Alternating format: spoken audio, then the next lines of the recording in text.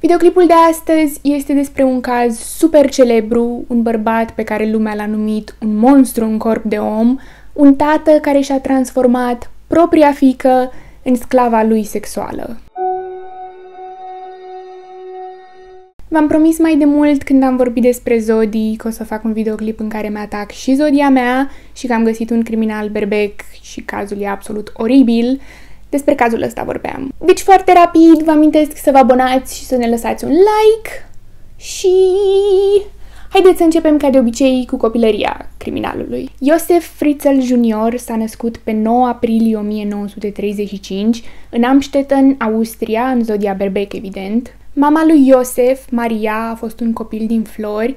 Mama Mariei, adică bunica lui Iosef, nu putea să facă copii, așa că tatăl Mariei, bunicul lui Iosef, avea diferite aventuri cu femeile care lucrau pentru ei. Soția știa ce făcea el cu servitoarele și era ok cu asta, cel puțin la suprafață, pentru că soțul îi reproșase de mai multe ori că ea nu poate să-i dăruiască un copil și că el își dorea unul super mult, așa că planul era să lase una dintre servitoare însărcinată și să crească ei copilul ca și cum ar fi fost al lor. Și așa a apărut pe lume Maria, care în 1934 cunoaște un bărbat numit Iosef Fritzl Senior, cu care un an mai târziu face și un copil, pe care îl vor numi după tată Iosef Junior. Toți trei trăiau în Amstetten, cam la 150 de kilometri distanță de unde s-a născut Hitler, pe care Iosef Junior o să și dea vina pentru crimele comise, a spus de mai multe ori pe parcursul vieții că a fost foarte influențat de mentalitatea nazistă. Tatăl lui Iosef a și luptat în război, de partea naziștilor, bineînțeles.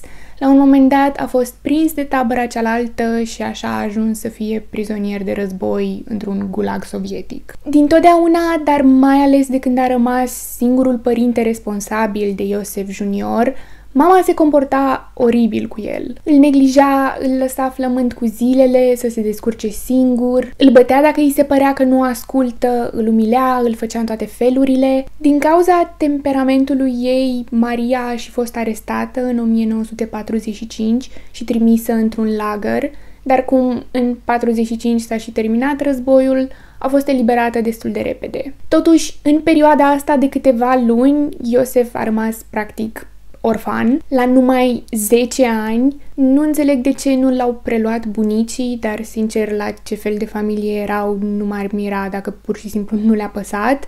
Dar în fine, rămas singur, Iosef a ajuns la un orfelinat unde a stat câteva luni până a fost eliberată mama și unde i s-a spus că mama lui a murit. Când a fost eliberată, a venit și și-a recuperat copilul. Nu știu cum mi-a explicat că a înviat, dar mă rog. Chestia asta nu era neapărat un lucru bun pentru Iosef, pentru că, cum am zis, mama era abuzatoarea lui principală. Trei ani mai târziu, în 1948, a fost eliberat și tatăl, care s-a întors imediat acasă în Amstetten, însă era văzut ca un laș și un fraier de toată lumea pentru că s-a lăsat prins de sovietici, inclusiv de propria soție care l-a gonit de acasă și a insuflat ura asta pentru el și fiului lor, care avea 13 ani acum. Așa, Iosef Junior a crescut urându-și tatăl și fiindu-i rușine că se trăgea dintr-un prizonier de război. De pe la 15 ani, Iosef începe să aibă un comportament ciudat, în primul rând, spiona oameni, se uita pe geam în casele lor sperând că o să vadă scene intime. Făcea asta cam în fiecare seară, știa unde locuiesc cupluri și urmărea pe ei în special. Urmărea femei la întâmplare pe stradă și se dezbrăca în fața lor, plătea prostituate pentru diverse servicii sexuale dubioase și dacă le refuzau devenea violent. Și din ce în ce creștea, certurile cu mama deveneau mult mai dese și mult mai rele, până în 1951, când avea 16 ani, și se hotărăște să plece de acasă. S-a mutat în Linz, unde urma să-și înceapă studiile ca să devină inginer. După război, asta era cam cea mai populară și căutată meserie. Și tot în Linz, 5 ani mai târziu, când avea 21 de ani, la locul lui de muncă o cunoaște pe Rosemarie Byers, în vârstă de 17 ani. Tatăl lui Rosemarie lucra cu Iosef la firma aceea și când a venit fata în vizită la tatăl ei, s-au cunoscut și s-au plăcut instant. Ce le spunea Iosef prietenilor despre Roze Marie e că îi se pare că ar face o soție foarte bună pentru că e super ascultătoare și supusă. Nu știu ea ce părere avea despre asta, dar s-au căsătorit și deja în 1963 aveau și trei copii, două fete și un băiat. Viața asta de familist era doar ceva de suprafață pentru el, nu-i ajungea să-și controleze și să-și domine doar soția, voia ceva mai mult. În 1967, tot în Linz, a urmărit o femeie de la un magazin alimentar până în fața casei ei. A intrat în casă după ea și a violat-o în propriul pat, în timp ce îi ținea un cuțit la gât și cu bebelușul ei dormind într-un pătuț în aceeași cameră. A fost găsit vinovat pentru crima asta și a fost condamnat la 18 luni în închisoare, din care în final a executat doar 12. Am văzut că multă lume critică dreptul din Austria în perioada aceea, în special tot ce ținea de legea penală, dar nu intrăm în discuția asta. Soția lui a fost șocată să afle nu numai că soțul a înșelat-o, dar și că a violat pe cineva, însă din spusele ei, nu voia să renunțe la familia pe care o construise cu el, așa că l-a iertat spunând că oricine mai greșește. Deși, clar, după asta relația lor s-a schimbat radical în ceea ce privește sentimentele lui Rosemarie cel puțin, dar la exterior părea că totul e la fel, pentru că era la fel de supusă lui, nu ar fi îndrăznit niciodată să-i reproșeze ceva sau să iasă din cuvântul lui, Apropiații spun că nu se știe ce ar fi fost în stare să-i facă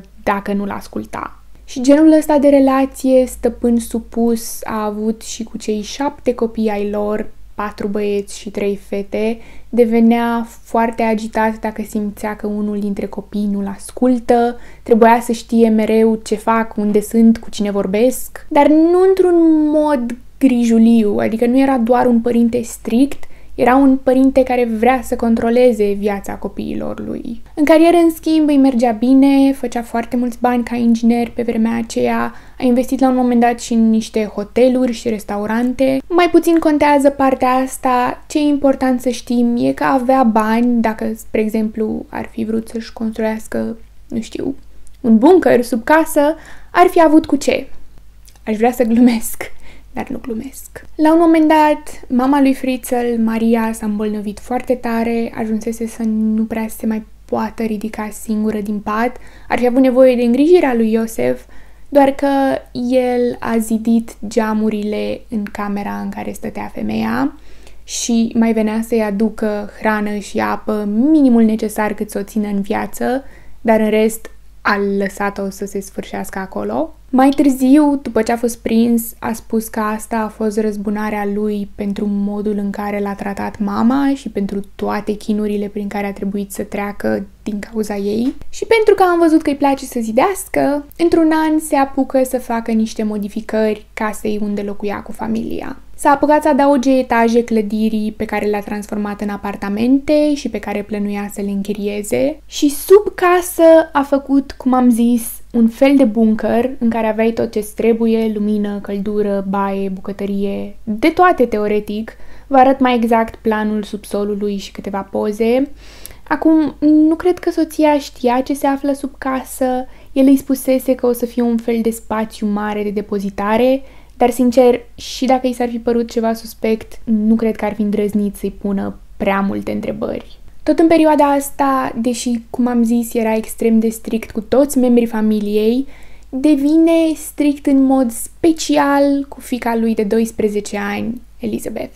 Și, din nou, nu strict ca un părinte, pentru că la 12 ani e normal să știe părinții unde ești și ce faci, dar nu, nu. El o urmărea când nu era acasă, o spiona, trebuia să știe ce face la fiecare pas și nu ca să o știe în siguranță, pur și simplu era obsedat de ideea asta să o controleze. Când și-a terminat clasele obligatorii, cred că erau 8 clase, pentru că Elizabeth avea 15 ani, în fine, când le-a terminat, a ales să facă niște cursuri de gastronomie în afara orașului, ceea ce însemna că trebuia să locuiască singură și să se întrețină singură. Așa că atunci când nu era la cursuri, lucra ca o spătăriță. Toată chestia asta l-a nebunit pe Iosef, pentru că dacă nu mai era sub acoperișul lui, cum mai putea să o controleze? Și în zilele în care Elizabeth se întorcea acasă, tatăl începea să se comporte ca un nebun cu ea. Se dezbrăca în fața ei, îi lăsa materiale pornografice în cameră, sub pernă, făcea glume foarte scârboase cu ea, o atingea extrem de nepărintește. La un moment dat, pentru că nu mai voia să suporte agresiunile astea și comportamentul sexual venind de la tatăl ei, fata hotărăște să fugă de acasă. Undeva unde să nu-i știe nimeni din familie adresa, pentru că în orașul în care făcea cursurile de gastronomie, evident că spusese familiei unde stă și puteau să o găsească, dar nu voia să fugă de tot. Așa că, pe 28 ianuarie 1984, fuge în Viena, dar pentru că încă era minoră, avea 17 ani, poliția era obligată să o găsească și să o înapoieze familiei. Au găsit-o destul de repede și l-au anunțat pe Fritzl, care a venit personal din Amstetten până în Viena ca să o ia și să o aducă înapoi acasă. Și pe drumul înapoi spre casă, tatăl i-a spus fetei că nu o să mai scape niciodată. După faza asta, obsesia și gesturile lui dubioase deveniseră doar din ce în ce mai dese și din ce în ce mai ciudate. Chiar nu era o opțiune pentru Elizabeth să locuiască în casa părinților, dar greșeala ei a fost că într-o ceartă cu tatăl, în luna mai, i-a spus că nu-l mai suportă și că o să se mute cât de curând în Linz să locuiască la sora ei. În momentul ăla, Frițel s-a panicat, nu putea să riște să o piardă din nou. Am văzut opiniile mai multor psihologi și mulți dintre ei spun că, într-un fel, o vedea pe mama lui, în Elizabeth, Faptul că fica voia să plece de acasă și să-l părăsească, el asocia cu perioada în care mama l-a abandonat cât fusese închisă. După ce a fost arestat, a și recunoscut în fața psihiatrilor că într-adevăr avea fantezii sexuale cu mama lui și toate implicau aceleași chestii, putere, control, dominare. Deci în mintea lui bolnavă îi se părea că urmează să fie părăsit a doua oară de una din cele mai importante femei din viața lui și trebuia să oprească asta cumva. Pe 28 august 1984, când Elizabeth împlinise deja 18 ani, Fritzl o strigă din subsol și o roagă să vină să-l ajute să care o ușă. Toată lumea știa că își amenajează spațiul ăla de depozitare în subsol, deci fetei nu i s-a părut nimic ciudat că o cheamă să care o ușă. Ce nu știa fata era că subsolul era de fapt o închisoare construită de el special pentru ea și că ușa era doar ultima chestie care trebuia montată ca să fie totul gata. După ce l-a ajutat să ducă ușa jos, Friță îi pune fetei la nas o batistă îmbibată în alcool, o aruncă de partea cealaltă a ușii, care avea o încuietoare foarte complicată, de la care avea doar el cheia, o leagă cu cătușe de calorifer, încuie ușa și își lasă propria fată acolo. Și Elizabeth habar n-avea că ăsta era doar începutul captivității ei, care urma să dureze 24 de ani. Toată viața mea. Și un pic. 24 de ani într-un subsol umed, întunecat și plin de insecte. Dar ce e și mai rău e că urma să fie supusă la niște torturi și abuzuri care nouă ni se par greu de imaginat, dar ea a trebuit să le trăiască pe propria piele, după ce a băgat-o acolo și pentru că din punctul lui de vedere fata urma să-și petreacă tot restul vieții închisă, adică să nu mai vadă nimeni, Fritzl a obligat-o să scrie o scrisoare în care zicea că a fugit de acasă pentru că își urăște familia și că urmează să intre într-un cult satanist, că o să locuiască cu nu știu ce prieteni și că nu vrea să fie căutată. Faza cu cultul satanist sună puțin um, extra, doar că aparent în anii 80 în Austria chiar existau genul ăsta de culte sau cel puțin erau răspândite zvonuri care exista așa ceva, deci nu era chiar atât de ciudat, era oarecum plauzibil. Mai ales că Elizabeth era văzută ca un copil problemă pentru că nu și-a ascultat tatăl. După ce a obligat-o pe fată să scrie scrisoarea asta, Friță l-a condus până într-un oraș vecin, de unde a pus scrisoarea la poștă către casa lui. Mama s-a panicat destul de tare, a sunat la poliție și a dat fata dispărută, n-a știut nimic de ea pentru câteva săptămâni, până când a ajuns scrisoarea falsă. La insistențele lui Iosef au arătat scrisoarea asta și poliției ca să nu mai caute nimeni și cumva membrii familiei s-au mulțumit cu informația asta că fica slash sora lor a fugit de acasă și face parte dintr-un cult. Ce nu știau e că fata era la șase metri sub ei și că trăia efectiv în iad. Tatăl ei o vizita aproape zilnic, în fiecare seară să-i aducă mâncare și apă și aproape cu fiecare vizită avea loc și o formă de viol. O bună perioadă a ținut-o legată de calorifer ca să nu fugă, deși nu știu unde ar fi putut să fugă, pentru că singura ieșire era ușa pe care chiar ea a cărat-o până în subsol și Iosef se asigura că o încuie bine de fiecare dată când pleca de la ea. O ținea legată și la mijloc cu un lanț care nu-i permitea să se miște mai mult de un metru, dar la un moment dat lanțul ăsta începe să-l incomodeze pe frițăl când o viola, așa că el dă jos. În total, în cei 24 de ani cât a fost închisă, a fost violată de peste 3000 de ori de către tatăl ei și faza e că nici nu avea cum să se apere pentru că chiar dacă ar fi scăpat din mâinile lui, tot era închisă într-un bunker, nu avea unde să fugă. El controla și toate obiectele la care avea acces, deci nici n-avea cu ce să-l lovească ca să se apere cumva. Tot ce a putut să facă a fost să accepte și să sufere în tăcere. Din violurile astea repetate, șansele sunt ca unele să se sfârșească cu o sarcină și fix asta s-a și întâmplat. Prima dată când a lăsat-o tatăl ei însărcinată la 2 ani de captivitate, Sarcina s-a terminat la 10 săptămâni printr-un avort spontan și nu se știe care a fost motivul pentru că nu e ca și cum a dus-o la doctor. Dar cum violurile continuau, Elizabeth a rămas însărcinată din nou și în 1988 a și născut o fetiță pe care a numit-o Kerstin. Și când și-a dat seama că se apropie nașterea, tatăl i-a adus în bunker o carte despre nașterea naturală, o cârpă, foarfece și șervețele umede. În cei 24 de ani de captivitate, fata a trebuit să nască în condițiile astea, singură, de șapte ori. În 1990 a născut al doilea copil, pe care l-au numit Ștefan. Băiatul s-a născut sănătos în ciuda incestului, dar pe măsură ce creștea și se tot înălța, avea probleme destul de grave la spate. Tavanul buncărului era foarte jos și băiatul ajunsese să aibă cam 1,75 înălțime.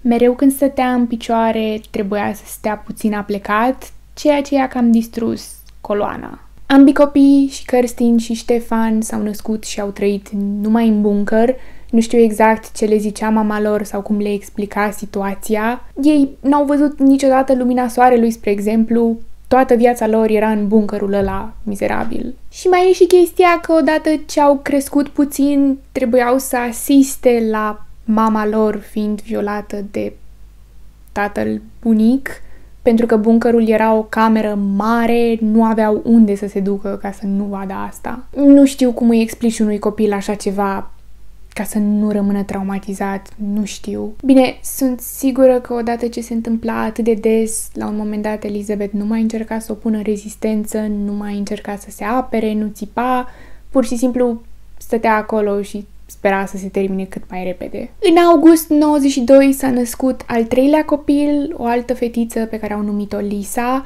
Fata asta a născut cu un defect la inimă, nu și-au dat ei seama de chestia asta, dar și-au dat seama că ceva clar nu e în regulă pentru că copilul plângea groaznic, se vedea că o doare ceva. Și deși membrii familiei de la suprafață nu bănuiau nimic până la momentul ăla și nici nu au ziseră vreun zgomot venind din subsol, Frițel nu putea să riște să lase un bebeluș plângând cât îl țin plămânii în subsol, așa că ce se gândește să facă, o obligă pe Elizabeth să scrie o scrisoare în care le explică părinților că Lisa e fetița ei și că nu vrea să aibă grijă de ea, așa că le lasă lor. După, Frița l-a băgat bebelușul într-un coș improvizat pe care l-a ascuns în tufișuri în fața casei și a lăsat fetița acolo cu scrisoarea în mână să fie găsită și a trebuit să se și prefacă surprins când l-au descoperit un copil în tufișuri. În fine, soția lui a crezut toată povestea, chiar credea că fata ei de care nu mai auzise nimic de ani de zile și care aparent fugise într-un cult, i-a lăsat un copil într-un coșuleț în fața casei. Soții Fritzl au discutat și cumva sunt sigură că Iosef a convins-o pe soție că ei trebuie să crească copilul și așa Lisa a ajuns să trăiască la suprafață, crescută de bunici, deși nu cred că putea să-și închipuie vreodată că bunicul îi e și tată. Pentru că a fost adusă la suprafață, au putut să o ducă și la doctor, unde s-a confirmat că s-a născut cu un defect la inimă pentru care a și fost operată și a continuat să trăiască o viață normală. Cât de normală putea să fie în situația asta. În subsol, Elizabeth chiar se chinuia să le ofere copiilor o viață cât de cât normală, le citea mereu, încerca să învețe diferite chestii, voia să le ofere cel puțin o educație de bază. După ce s-a rugat de el ani de zile, Elizabeth a reușit într-un final să-l convingă pe tatăl ei să mărească subsolul,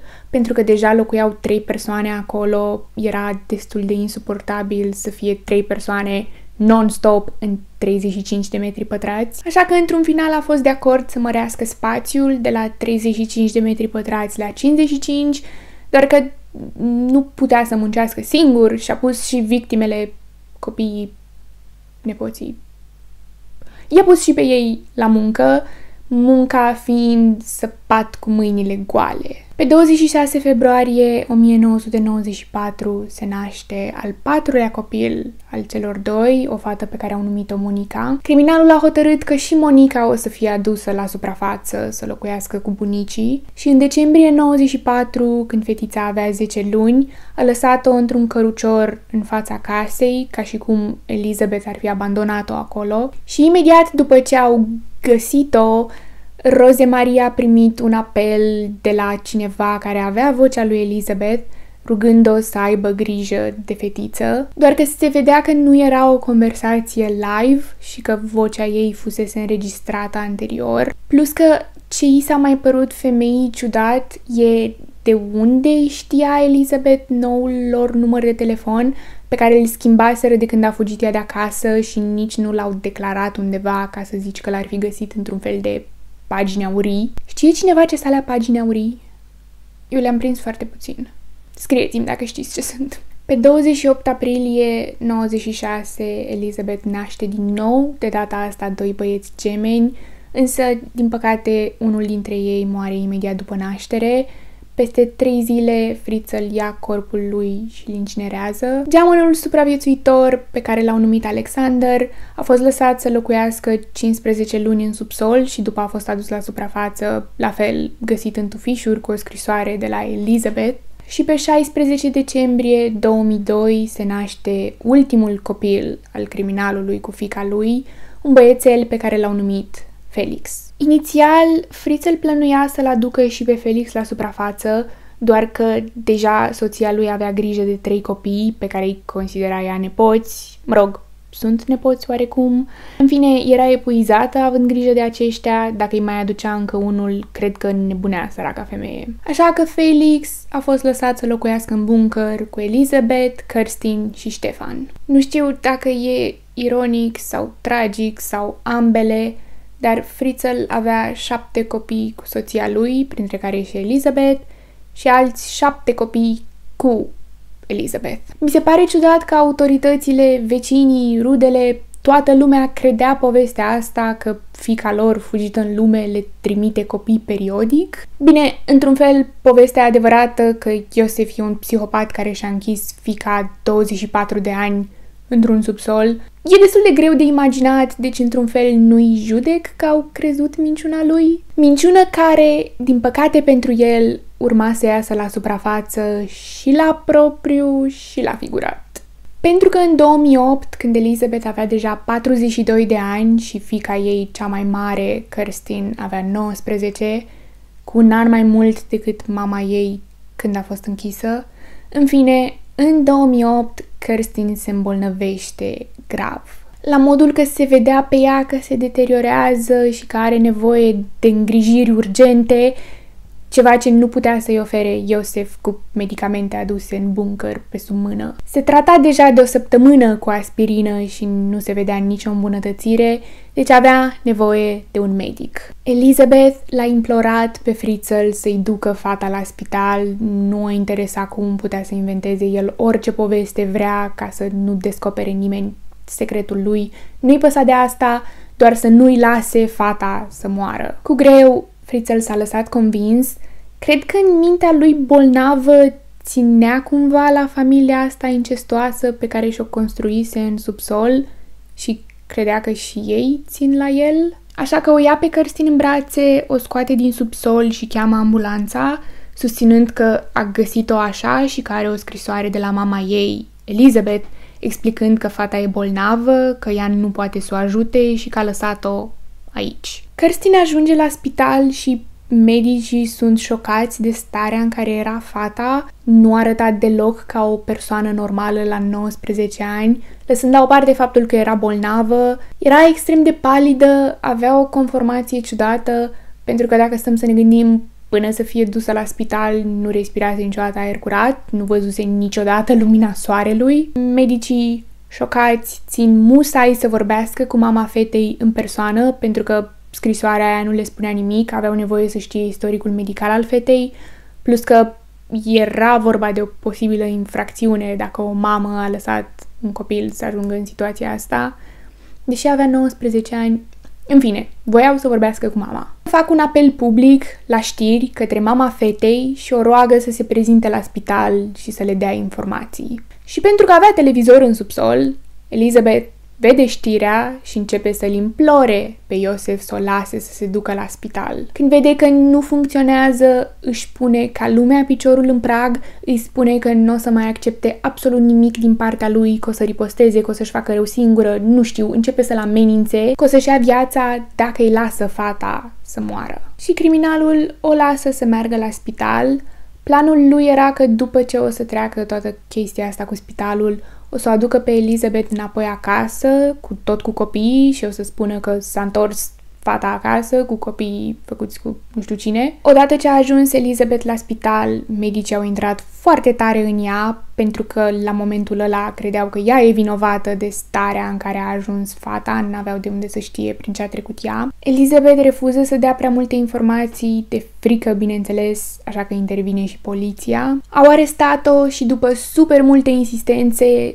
după ce i s-a spus că o să i se ia copiii dacă nu vorbește, abia atunci a fost de acord să le povestească și să le spună adevărul, dar mai întâi de asta i-a pus să-i jure, să-i promită cu toții că nu va mai trebui să-și vadă tatăl niciodată. Polițiștii i-au promis și femeia a început să vorbească, le-a spus cum la 18 ani a fost închisă în subsolul casei, cum a stat acolo de 24 de ani și în acești 24 de ani a fost violată de peste 3000 de ori, cum tatăl tuturor copiilor ei e tatăl ei. Și în acea seară, Iosef Fritzl, ajuns la 73 de ani, e arestat. După arestul lui, polițiștii au găsit într-adevăr doi copii într-un bunker sub reședința Fritzl, exact cum le spusese Elizabeth, Autoritățile au eliberat cei doi băieți din subsol, pe Ștefan și Felix.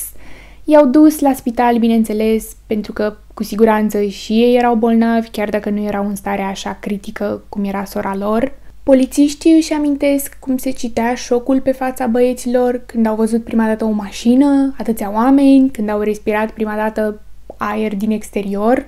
Tot drumul spre spital s-a uitat pe geam, cu ochii mari, șocați că există o lume în afara pivniței în care și-au petrecut toată viața. Știți că am zis mai devreme că atunci când a construit și buncărul a mai adăugat etaje clădirii în care a făcut apartamente pe care le închiria? Ei bine, aparent chiriașii s-au mai plâns uneori că se aud zgomote mai ciudățele venind din subsol, dar Frițel le spunea mereu că sunt din cauza unor țevi mai zgomotoase. Imediat ce au spus autoritățile ce s-a întâmplat, Rosemarie, mama lui Elizabeth, soția lui Iosef, a fugit de acasă la niște rude. Despre ea, lumea are păreri destul de împărțite. Unii spun că e imposibil să nu fi suspectat nimic atâția ani. Nu s-a întrebat niciodată unde dispărea soțul ei ore întregi, cel puțin de trei ori pe săptămână, dar alții cred că și ea a fost la rândul ei o victima lui Iosef și că nu și-a dat voie să se gândească la așa ceva de frică. În timpul procesului, avocatul lui Iosef Fritzl a încercat să spună că omul nu e chiar un monstru, și argumentul lui a fost că de Crăciun le-a adus copiilor un brad împodobit în pivnița în care el i-a închis. Procurarea, în schimb, n-avea de gând să lase să scape. A vrut să demonstreze în ce condiții a fost ținută Elizabeth împreună cu copiii, așa că a desenat pe una din ușile sălii de judecată cât de înalt era tavanul, la numai 1,75 m. Eu am 1,71 m, deci cam așa.